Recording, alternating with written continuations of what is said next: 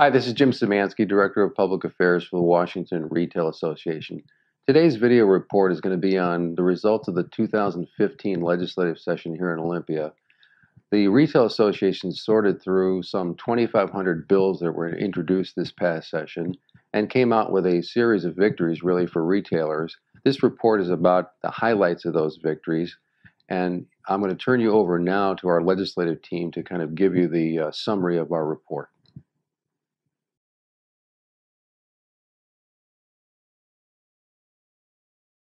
Well, today Joni and I are going to highlight a few of the bills and the important things that we worked on this legislative session.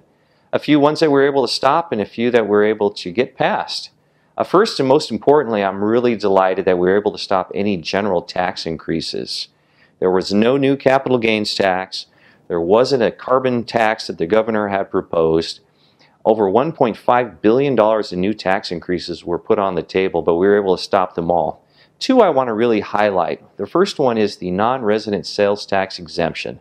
Most people don't even realize it exists. What this does is allows um, individuals from states that don't have a sales tax or have a small sales tax of 3% or less to come to Washington state and shop sales tax free. So why is that a good thing and why should that be kept in place? Well, these non-residents come to retailers that are located in Washington and buy goods from them and then return to their state. So it's actually a very good book of business for our retailers in Washington state. In particular, this really impacts retailers along the Oregon-Washington border. Well, there were several proposals to A, eliminate it outright, or B, turn it into a remittance program where somebody from Oregon, for instance, would have to apply for their sales tax to be recouped and sent back to them once a year from the Department of Revenue. We felt that this would be basically eliminating the tax exemption in its entirety and would really impact those businesses that rely on out-of-state residents for their shopping. So we were happy we were able to stop that and delighted it did not pass. We do think it'll be back again next year because it's very uh, enticing for members of the legislature to gain a little bit of extra tax revenue at the expense of retailers in Washington state. The other really important um, tax exemption we were able to keep in place was the sales tax on bottled water. There were a number of attempts by legislators to put a sales tax on bottled water which is currently sales tax free. This is a very important food item and essential to life so through a lot of hard work and a lot of dedication from the folks in the bottled water industry and Joni's efforts putting together these, we were able to stop the bottled water tax from being put on. So very delighted with that. And Joni, would you tell us about the one positive thing that came out of the um, tax discussions? One of the major successes of the 2015 session was the passage of a click-through nexus, which is basically a modest step in the right direction towards e-fairness on the state level.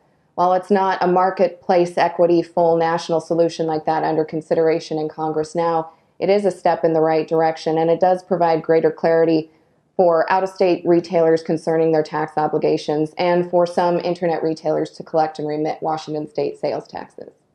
One bill that we were really excited that we are able to work with very closely the Attorney General Bob Ferguson and his staff was something called data breach. Now data breach has been occurring around the country and in our state and affecting uh, millions of consumers. So the Attorney General brought forward a bill, worked very closely with the Retail Association and other associations on crafting a workable solution that would crack down on the criminals, but at the same time protect the customers and the retailers and the other industries that collect and retain data for the use by their consumers and their businesses. So we, we thank Attorney General Ferguson for working very closely with us and coming up with a workable solution that we think will help deter data breach from occurring in the future. It won't stop it, but it will help definitely in that respect. Yeah, another major success of the 2015 session was the defeat of two bills that would have negatively impacted retailers of all sizes across the state of Washington. The first one is House Bill 1355, which would have raised the minimum wage to $12 an hour over the next four years when Washington already has the highest minimum wage in the country. The bill passed the House by a narrow party line vote. It went to the Senate where it received a hearing and we were able to stop it. There's a lot of speculation that we will be seeing a ballot initiative in 2016.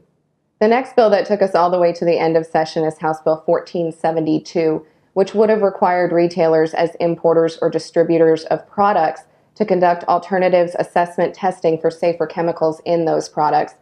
The bill was tied to the governor's proposed update to the state's water quality rules and uh, fish consumption rates, which really split business interests this year, with some advocating for a compromise to the bill in order, prote- in order to protect that draft rule.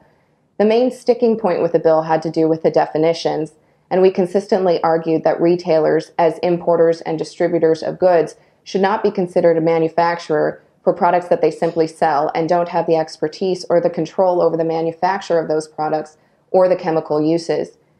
We know that this bill will be back again next year and we'll continue to advocate for policies that make sense. Thanks, Joni. What was really frustrating for me on that bill was that the Department of Ecology already has the authority to conduct alternative assessments and chemical action plans. They simply don't want to pay for them. So they want to require retailers and manufacturers to foot the bill for something they should be doing, which is just plain wrong. So you're right, we'll be fighting this again in the future and protecting the interests of retailers. We do very much appreciate you watching and um, hope you'll continue to work with the Retail Association in the future. And a special thank you to Retail Association Services Inc. for sponsoring this broadcast.